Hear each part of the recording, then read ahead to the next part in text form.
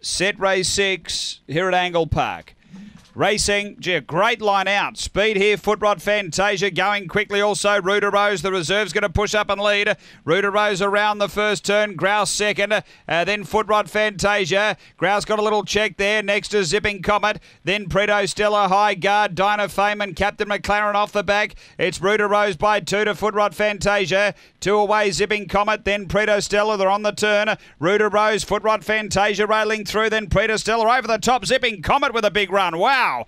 Zipping Comet over the top beats either Preto Stella or Footrot Fantasia. Then Ruda Rose from High Guard. Uh, next we had uh, Grouse with Dinah Fame and Captain McLaren. The time here 30 and 28. What a finish. Over the top.